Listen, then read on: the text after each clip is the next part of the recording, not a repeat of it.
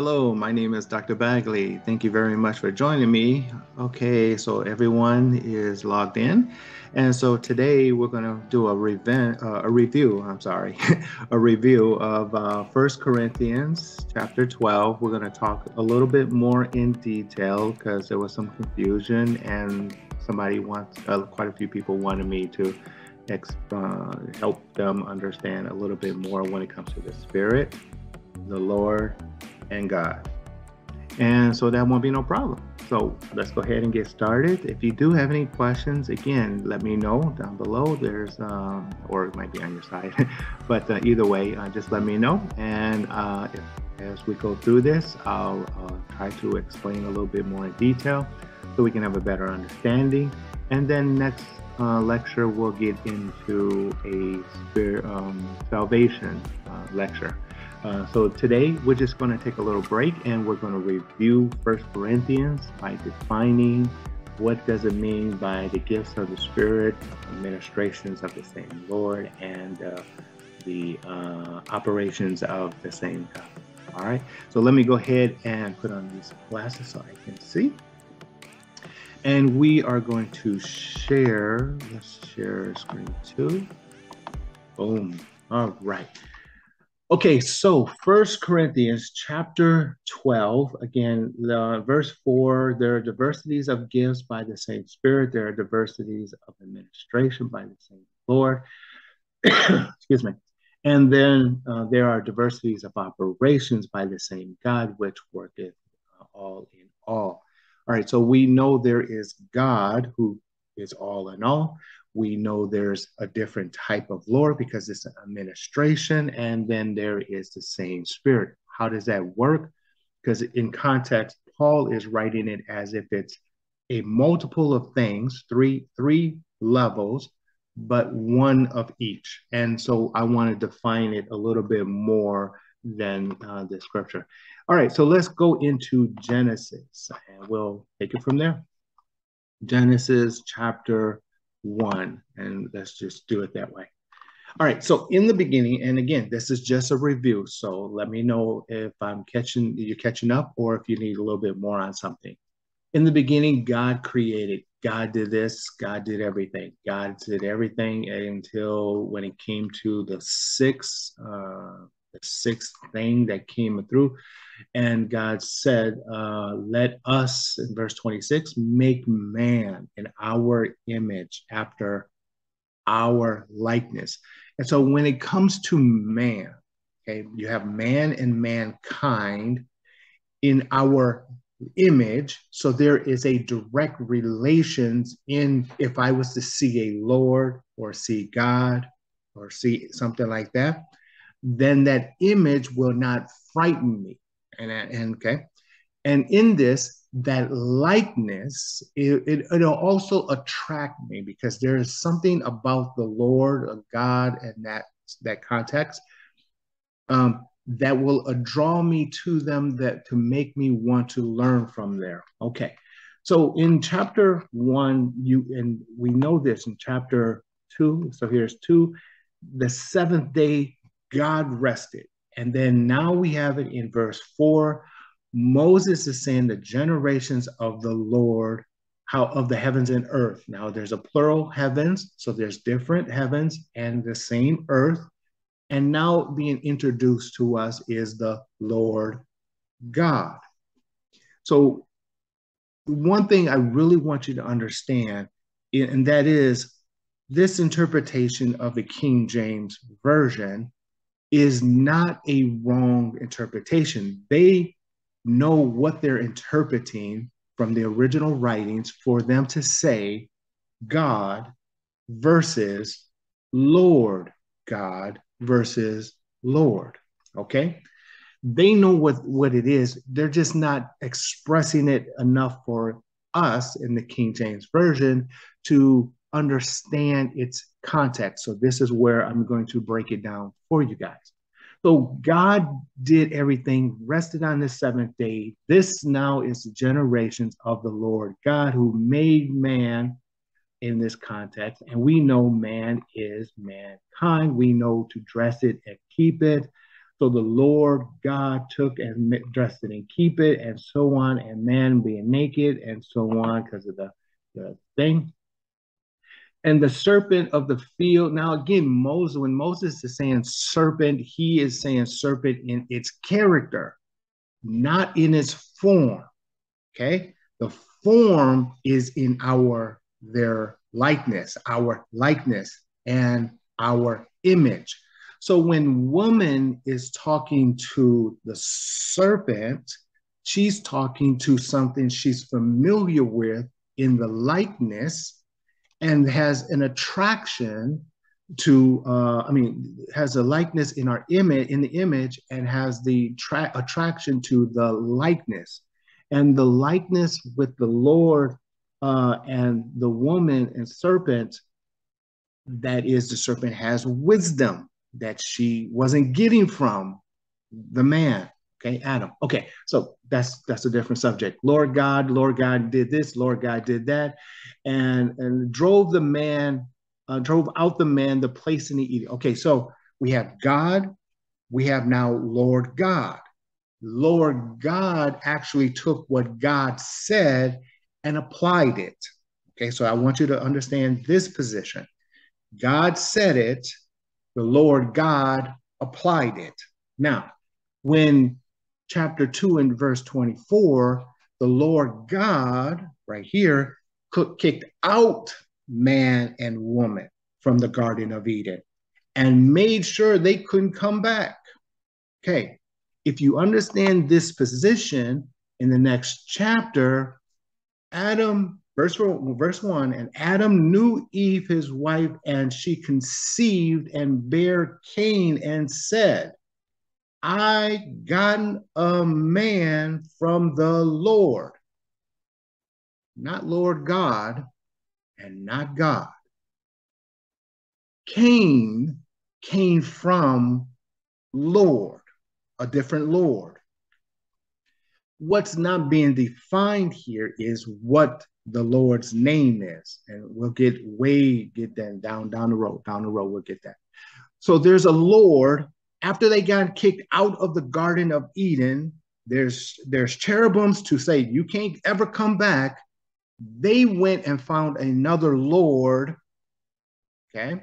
And that Lord helped Adam and Eve conceive Cain. Okay. And then again, Abel was there. And then here's the Lord. The Lord did this, and the Lord did that to Cain. The Lord did that, and so on and so forth. And and the and after Cain killed Abel, the punishment is greater than that, and presented that. And now we have Eden and Nod. And so we have the father such in the tent, have cattle, Zillah. And so generations and generations is going. We're having family after family. And in verse 26, and to Seth, to him also there was born a son, and he called his name Enos, and began man, and then began man or mankind, the family so far, to call upon the name of the Lord. So as Seth understood the Lord, and this is very important, and I want you to understand. Let's go back to the top. Adam and Eve knew the Lord God in the Garden of Eden.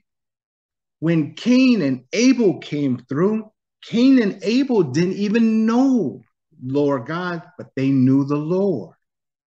And when Seth came into the picture, Seth all he knew was the Lord.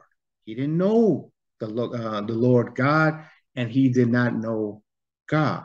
Okay, so let's move fast forward now. In all of chapter uh, four, chapter five, this is the book of generations of uh, here. And okay, so we're going to go, the Lord kind of made Seth. I'm just looking at my notes right quick. Okay, and then so in chapter five, man and female, God created man and female, so on and so forth. And Adam lived and his likeness and his image and called him uh, named Seth. And after that, Seth has all, and we have Enos and begotten Cain. and Canaan and 60 and five years. We're talking about years and generations and generations. And then Enoch. So here it is Enoch walked with God in verse 24. This is the first time in chapter 5, the first time, again, first time we're hearing someone walking with God. Enoch himself walked with God. He knew the Lord, but they, he was also walking with God. And he was not, for God took him. And so Enoch, in this context, understood God and he walked with God so closely that God took him. And that close relationship with Enoch and God. And they called his name Noah, and the works and him became ground which the Lord has cursed. Okay, so that's different. So now we have a Lord. And so here we have in chapter six, it came to pass. What came to pass? Enoch knowing God, and now there there's a Lord, and then there is back again God, and and then all of a sudden sons of God. Now, again, what is the sons of God? First John. This is a review again. Go back to the other lecture if you don't know. First John chapter 3. The Lord God put us upon us, and I'm paraphrasing, uh, upon us uh, for us to be sons of God. And what is sons of God? Those who actually walk with God, learn with God. Okay. God, sons of God. Okay, then the Lord says, My spirit will strive out of man. Okay, fine. There's giants. Okay, the sons of God went out to the daughters. Fine. God saw the witnesses. The Lord repented to God. Not the Lord God repented, but the Lord repented to God. He had made on this earth. He's going to destroy it. And so he found favor. So Noah found favor in the Lord. And then God looked upon the earth and it was corrupted. And God said to Noah, So here's the thing that I want you to understand. Everyone in that I've heard in Christianity says the holiest one is Adam, which he is. He was born, created without sin. True. After Adam was kicked out of the garden, there was the Lord and that Lord and God both had favor or likeness on one man in the earth at that time that was in this context evil destruction. They were there was nothing good. But noah was found favor with god and man. So for us the better position for us to be in keeping in line with first corinthians the best position for us to be is to have favor with God and the Lord. Okay, so that Noah came out of this in favor, and in the next chapter six, chapter six, uh, Noah found favor. Uh, chapter seven, okay, the Noah, we know that the Noah did according to what the Lord commanded him, and then the the Lord wives, and then all of a sudden the Noah's life male and female as God commanded Noah. So God, I mean, Noah was listening to the, the Lord, Noah was listening to God. And then all of a sudden, hell broke loose, the flood came, and earth was on earth, earth was destroyed. Okay, let's go into the next chapter real fast. Chapter 8 and God remembered Noah, and then God came back and says, "Okay, that's enough water. Let's just take it down there." And then all of a sudden, Noah made in in let's go down, and so now are six days. The earth, there's dry land, and all of a sudden they're dry land. In uh, let me look at my notes. Yep, twenty. And Noah built an ark unto the Lord, even though God spoke to Noah in verse 15, God spoke unto Noah, saying, even though God spoke to Noah, Noah built an altar unto the Lord. Okay. And so every beast and all, okay, so the Lord smelled this to save the Lord on his heart and, and so on and so forth. Chapter 9 Look at this one. And God blessed Noah and his sons, and blessed, be fruitful, multiply the earth. And that's what happened in, in chapter nine. That's what he's doing, all of these things. And so you can read all of this later. Uh, so he, from Noah, he's he's doing this. And then Lord God, the Lord God of Shem, Shem became his servant, the Lord God's servant. And in all of that, next chapter. Oops, I'm sorry. Let's go back. 926, 926, uh, 26. And he said, uh, said, Blessed be the Lord God of Shem, and Canaan shall be his servant. Okay. Why does it say Lord God of Shem? We're talking about the Lord, who is a God. Lord is a God of Shem. This Lord is now being divided up by the individuals. Okay. Again, after man was kicked out of the garden, all Cain, Abel, Seth, and all of the generations after Seth knew about is this Lord, and they made him a Lord, which is a Lord God. Okay, let's continue on. Next chapter, let's go to chapter 10.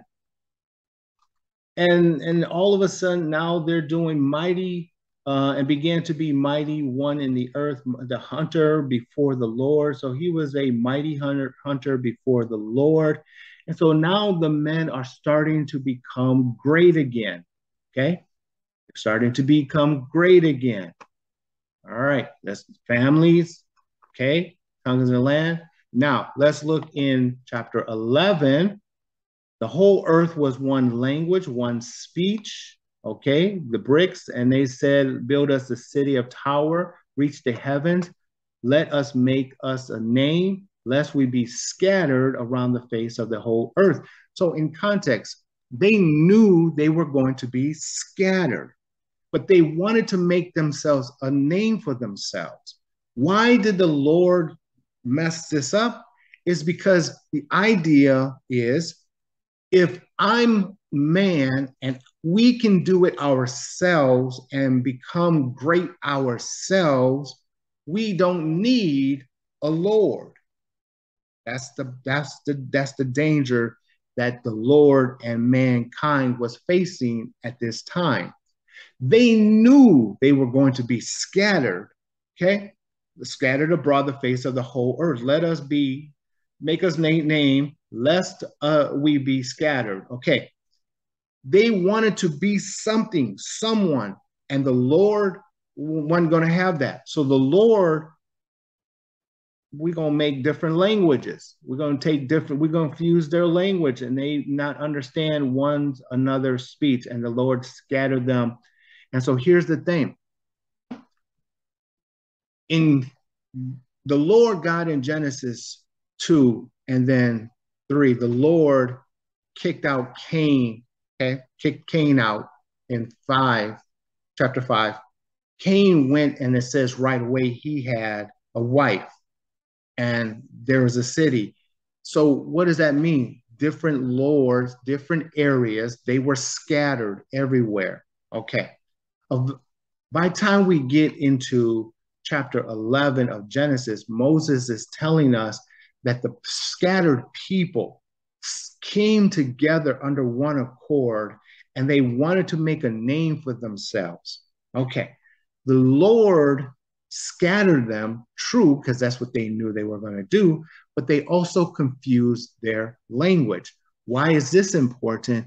Is because let's look at Africa for an example. There are some tribes in Africa that has 10 different languages. They know 10 different languages. And if they had 10 different children and those 10 different children went out to the land, each child would not even know the other, even though they're blood relatives. The language confuses a lot of things. Okay. So here is now again, here's the Lord, scatter the people. Now, what do we get out of chapter 11? What we get out of chapter 11 is where we get the different lords and gods. The profoundness of chapter 11 in the tower, the, the Babel position is when we all have different languages, we're going out and we're all asking for different lords. The lords are the ones who are giving us uh, the position of helping us. Now, let's co continue on and we'll, we'll, I'll show you what I'm talking about in a minute. Now the Lord has said unto uh, Abram, Get out of the country and the children and the land, and I will show you, I will make your great nations. I will pass thee, and the great names should be blessed. Uh, and departed as the Lord spoken unto him. And Lot went to uh, with him, and Abraham 70, and Sarah his wife. And they passed on, and the Lord appeared appear before remove the mountains and so on. So here's a Lord out of where? His country, Canaan. We know in Canaan had multiple gods. The difference of and them having multiple gods is because they had well, there's two reasons. They had man has a desire, and then the Lord has the gifts because the Spirit comes out of them to give them that gift. Okay. One of the things, well, let me put it to you this way in chapter 12 and the 13 and moving forward, we count Egypt. Why is that why is Egypt so important? Because Egypt is where the nucleus of everything is. And the reason Egypt is there in the nucleus of everything, and this keeping it in First Corinthians guidance, there are different lords for every desire that you may have. Now, for an example, if I say I'm in uh, the industry of uh, manufacturing, I need a Lord to help me with my business. If I'm in farming, I need a Lord to help me with that. Egypt, it was the place to go and say, hey, if you are you needing a child and you're having difficulties with children, go to that God over that, go to that Lord over there. If you need something, whatever you need, Egypt had it in this context now. Uh, and that's where we get different gods. We have different gods because, well, let's say, how does the Lord work? Now, if we get into uh, other arenas, we'll get into the idea that the Lord says, Keep my commandments. And if you keep my commandments, good things are going to come out of this. If you break my commandments, bad things are going to come out of this. Okay, so we know there that's an agreement. And if that is the agreement, and I am speaking one language, and I go to the Lord in my language, and the Lord and me have this close relationship because of what I need. Why am I going to go to another Lord? I'm going to stick with this one Lord. Hence, when Moses comes along, there's a different Lord because that Lord says, Keep my commandments. And we know his commandments. What is his commandments? The 10. What is the very first one? Have no other God before me. So there are other gods. And to be with Moses, Lord, who saved me out of Egypt, like within the lectures, go look at it. When the Lord kept uh, Egypt, I mean, kept Mo- Moses and the the slaves and got them out of Egypt, he said, "Keep my commandments. You keep my commandments, good things are going to happen. You don't keep my commandments, bad things are going to happen." Now, in context, what do I mean by this one particular Lord of Moses? Well, when it comes to Moses, Lord, unlike these other lords, they were they were doing some terrible things and, and Sodom was wicked and sinners in verse 13. Men of Sodom were wicked and sinners before the Lord exceedingly. And the Lord said unto Abram, said, See, here's the thing. Is the Lord evil? No. See, the evilness was before, or the wickedness was before the Lord. So the so this context and this idea of the Lord, and I say to you, there's different lords for different administrations from farming to manufacturing to wanting to have a baby and like like uh, Cain and Abel after being kicked out of the Garden of Eden. In any area of you want a business, you want this, there's a different administration, there's a different Lord, same ranking, different Lord. Egypt was the very first place to express that. And the question is if I say to you that this is the position, you'll think in your mind, well, there's got to be evilness in there. No, it says the evilness, the sinners, the wicked and sinners was before the Lord. So let me give you an example uh, in, in this review of how I say there is no evil when it comes to spirituality. There is no evil. All things come out of God. And if God, the creator, is the light bringing it from the darkness, he said darkness from, and light. He didn't say that darkness was evil because to say the darkness was evil is to say I created evil. No, he didn't create evil. He he created spiritual beings, the, the, the universe. And what is evil is man. Man is the flesh. And this is what i said in the other chapter. Let me let me stop sharing real fast because i don't think i need it. So if we understand the different uh, other chapter when we said that uh, the flesh my spirit the, i think it was in third three or four four five six somewhere six six six it, my spirit will not always be with man because of the flesh that flesh is what makes evil. So let me give you an, an, an example, an analogy, an example of what I mean by this position of the Lord and how it works in administrative position. I'm a boss. I have a business. My business is growing past myself and I need staff. That staff and the relations between the staff and me, the owner, is a Lord position. I'm a Lord position. Now, don't get crazy, just listen. As the example, the Lord's position is I understand my staff is being with me, but it is not just them. They have families, and whatever they do with me affects their families. I say, as a Lord, I say to them, the staff, these are my commandments. This is my governing laws to be with me. If you follow them, good things are going to come to you. If you don't follow them, not so good things are going to come to you. And I know I need you to sacrifice now, again, this is where we get sacrifice in the business world. I need you to sacrifice for me so good things can come to you. And what happens is the evilness comes when the disobedience to the Lord's commandment, the daily bread.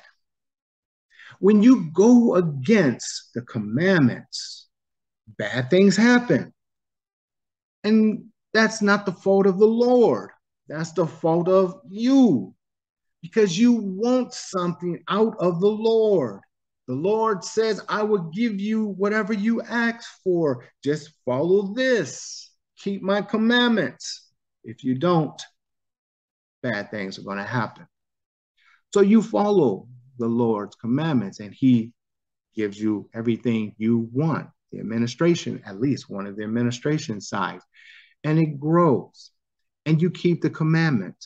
And you grow because you keep the commandment, and that relationship between you and that Lord is good.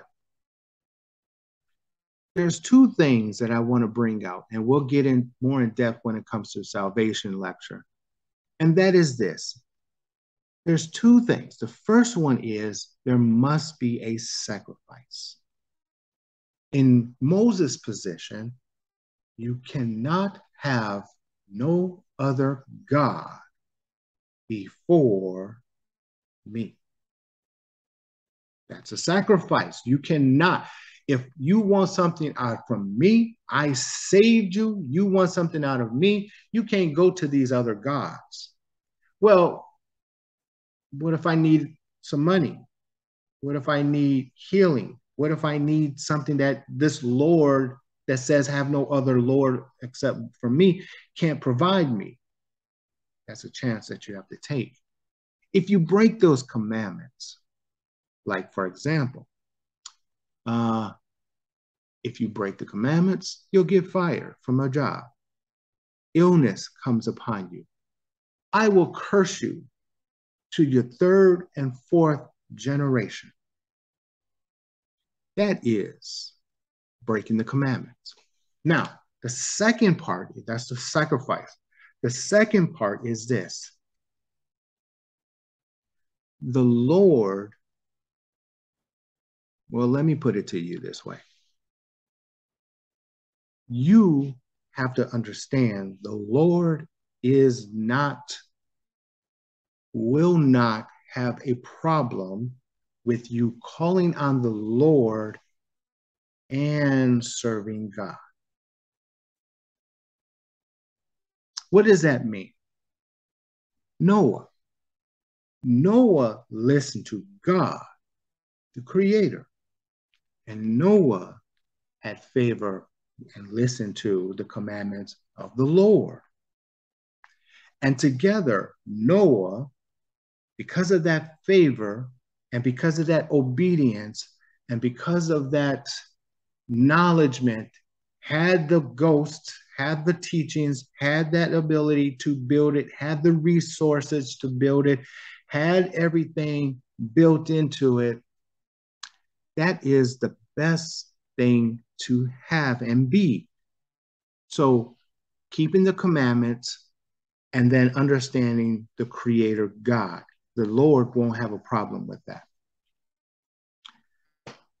The problem with what I just said is this. If I go to the Lord, the Lord gives me a commandment. I know what the commandment is, I can keep it, and we can have a good relationship. The problem with this is in Christianity, Jesus says, and we all know that's not his real name. Jesus said, Keep my commandments. What is Jesus' commandments? We know Moses' commandments came from the Lord. We know there's a verbal commandments coming from the actual spiritual world on, on the activities through visions and dreams and so on. We know Jesus had commandments because Jesus said, Keep my commandments. What is Jesus' commandments? And if you don't know what his commandments is, then how can you keep something? And if you don't keep it, then bad things are going to happen to you.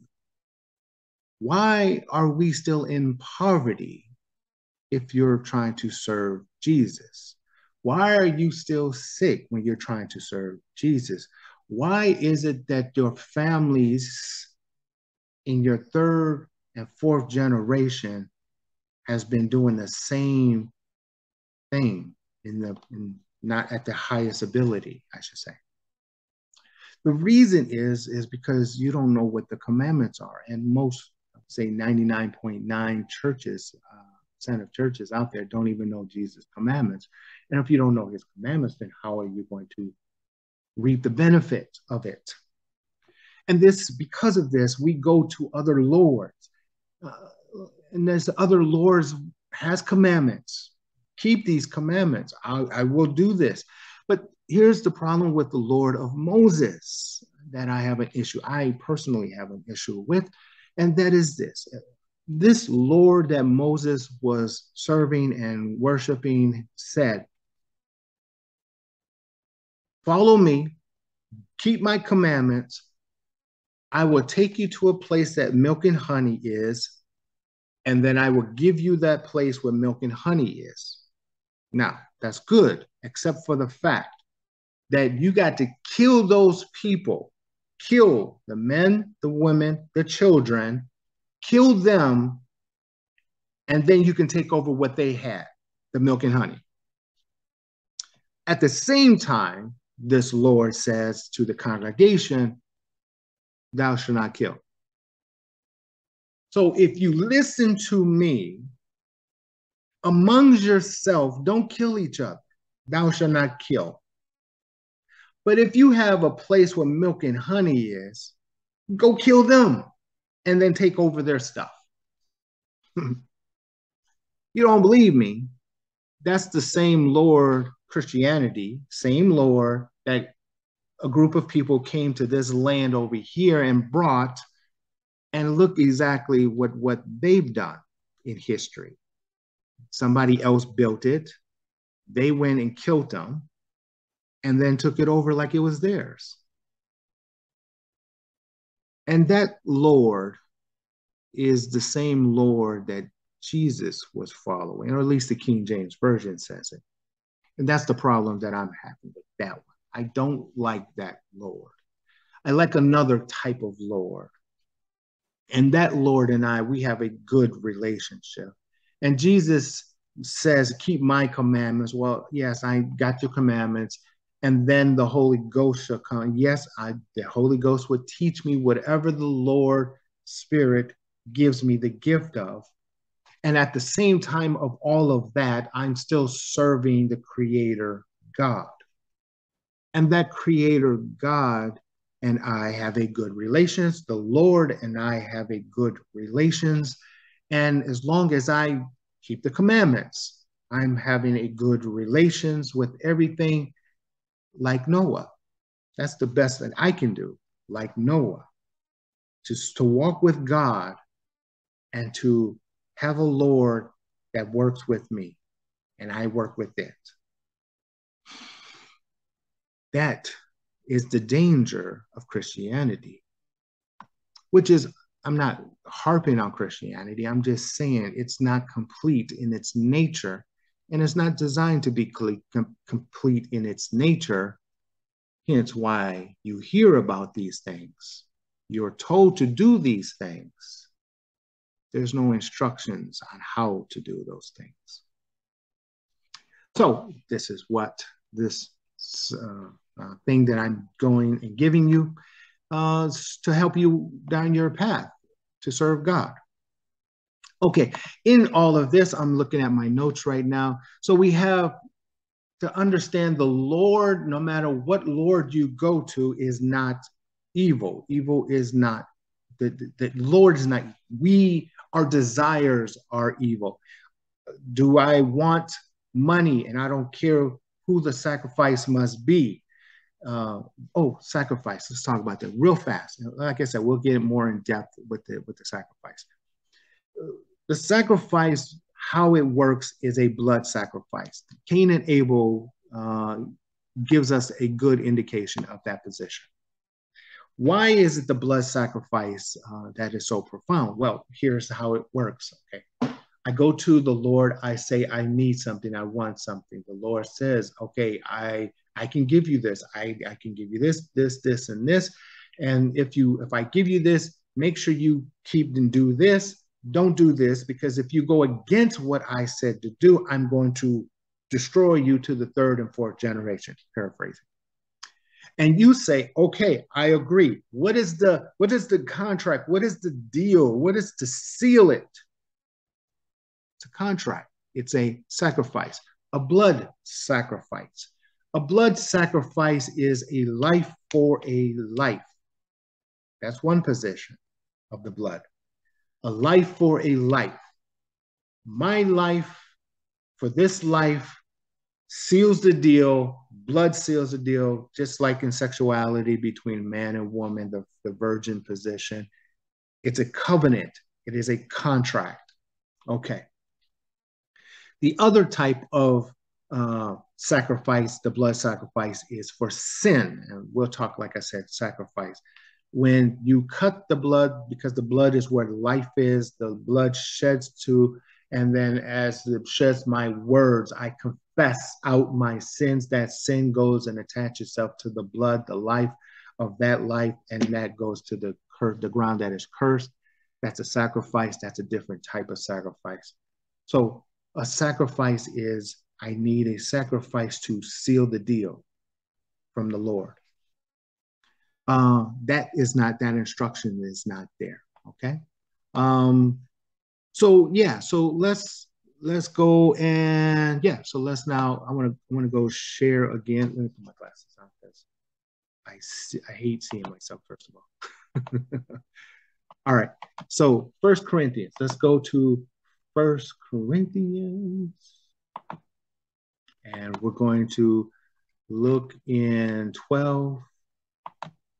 And we'll just jump there, go to 4. Okay.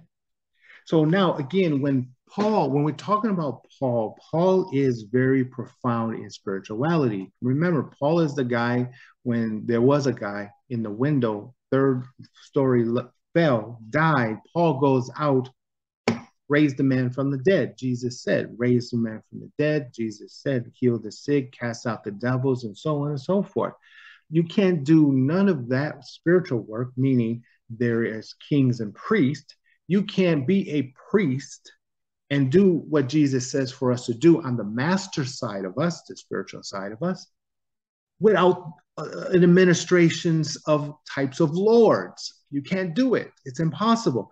To have a gift of uh, healing, the gift of healing. I need a Lord to give me the spirit, the gift of the knowledge and the gift of healing.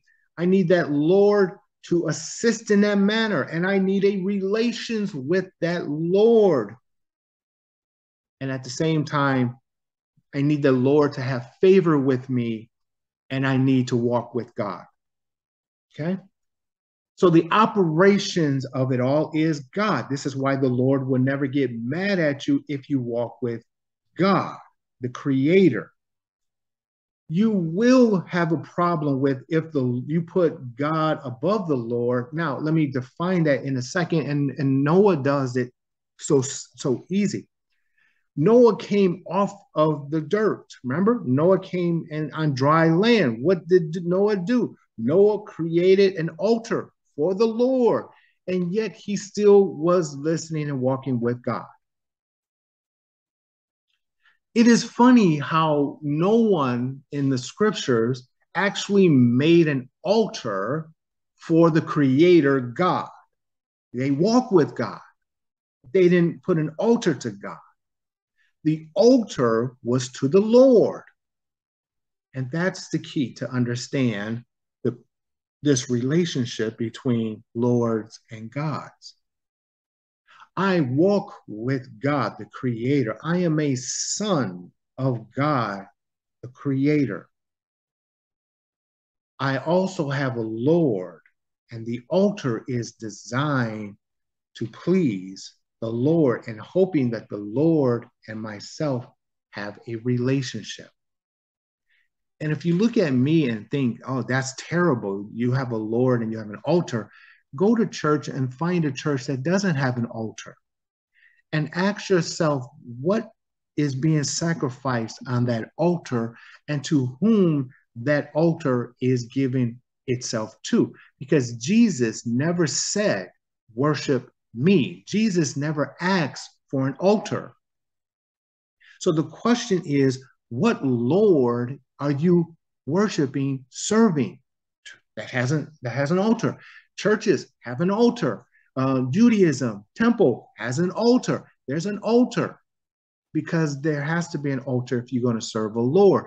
The difference between your altar in a church and my altar for me is I know the commandments of my Lord. And that Lord gives me that spirit. Remember, the, the spirit, the Lord says, My spirit will not dwell with men because of that flesh position. so that spirit comes from that Lord, same spirit. The spirit is the gift from that Lord, and that Lord comes from God, the creator. So everything is wrapped up in one the Spirit, the Lord, and God. God is the creator of it all. The Lord represents a God, God's. The Lord represent the creator, and the Spirit comes out of the Lord. And Noah says, build an altar to that Lord and walk with God. Now, if that Lord is a certain type of Lord versus a different type of Lord, there can be a different type of Lord. And we know the different types of Lords when we talk Job, for an example. When, when Job comes around, the, then there is the sons of God, and then there's a Lord, and then there's Satan. Remember, I said when you have a Lord, you have an altar, and that altar needs to be serviced.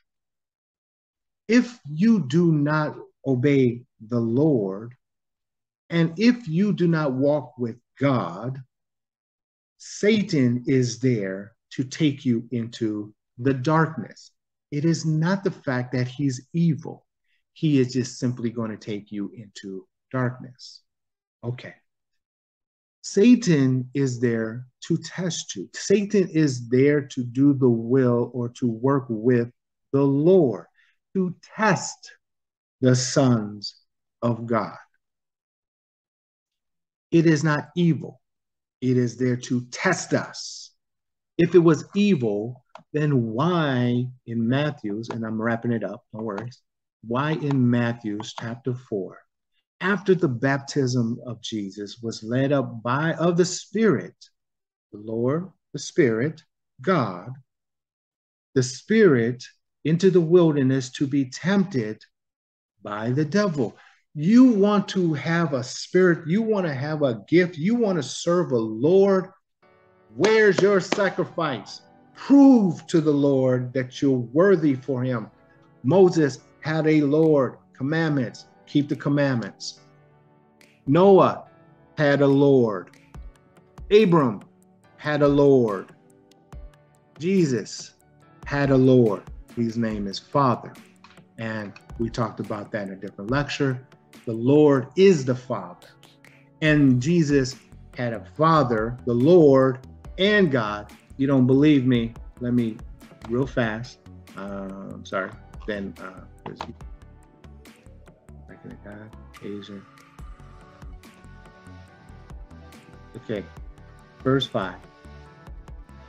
And from Jesus Christ, who is the faithful witness, begotten dead, Prince of the kings of the earth, unto him that loves us, washed us from our sins in his own blood, had made us kings and priests unto God and his Father. God is the creator, it is the all thing. The Father is the Lord. You can't do what Jesus says without the administrations of the Lord. We know there's different types of lords. You need a father, a Lord. At the same time, you need to walk with God. You need to be like a Noah. and Noah and Jesus has his sacrifice, his blood, his sacrifice, right? That's for the sin position, uh, made us kings and priests unto God and his Father. Uh, unto him glory, dominion forever and ever. Amen. Okay. Let me stop the sharing so this this is the review i hope i hope this brings out a better understanding a deeper understanding i hope we can move forward and which is fine if we can need if we need a pause again but either way um so yeah so that is understanding god the creator understanding the different uh administrations the lord the different types adam adam and eve had a lord for cain abel and seth Uh, from there, we had a different type of Lord uh, from a, uh, Noah, and then we have a different type of Lord for Abraham, we have a different type of Lord for Moses, and so on and so on. There's always a Lord that Paul is teaching us we need. We need a Lord. And that Lord gives us a spirit, that gift. That's where the spirit, spiritual gifts come from. And at the same time, we put an altar to the Lord, as Noah gives us the example, and then we walk with God, the Creator. So to be whole is the fact of everything within the lecture so far is the tree of knowledge. We need to understand closer and closer what is good, what is evil within ourselves. We, we also have the, the, um, the Holy Ghost. We also have the prayers. We also have commandments now. We also, so the question is, what do you want to do? What is it for you to do? You go out and you ask from the Lord, what is it that you want? Find the Lord who can provide that want. Build an altar to that Lord.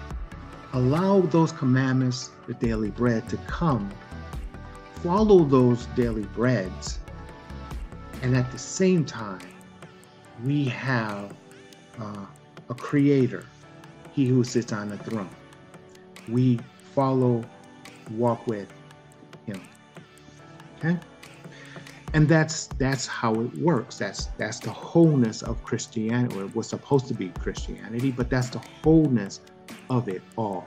And if you can do that, then great things are going to come out of it if you understand the daily bread or know its commandments and as long as if you follow it to the best of your ability, and if you cannot or you fall short of those commandments from that Lord, that's when we're going to talk about next in our lecture sacrifices, blood sacrifices, or sacrifices for our sin.